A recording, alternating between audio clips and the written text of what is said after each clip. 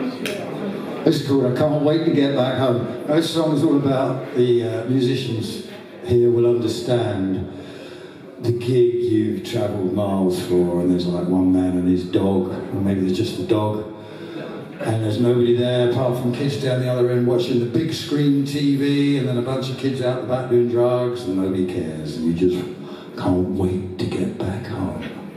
I should add it's nothing like this.